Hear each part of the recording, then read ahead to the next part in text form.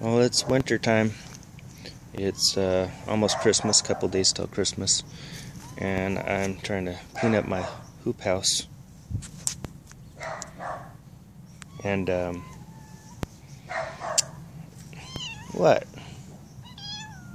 Okay, I'll feed you in a second. Anyway, I'm trying to uh, clean up my hoop house here and I just wanted to show you where I left the shovel. And behind this little shovel if I can get in here is hmm, I don't know if you could see that but let me show you. Nice little hiding place for snails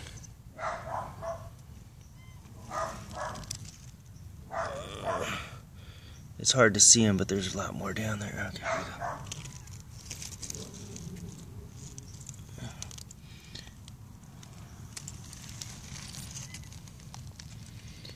Alright, I gotta figure out what I'm gonna do with you guys.